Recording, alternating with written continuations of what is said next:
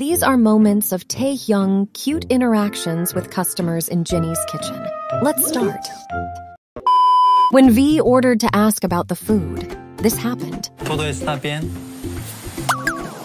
첫 I don't speak Spanish.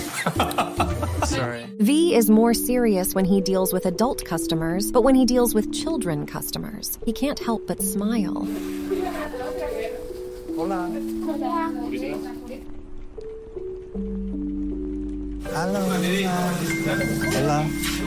Thank you.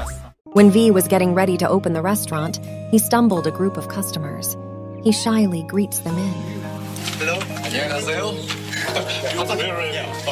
Thank you. Go for a drink.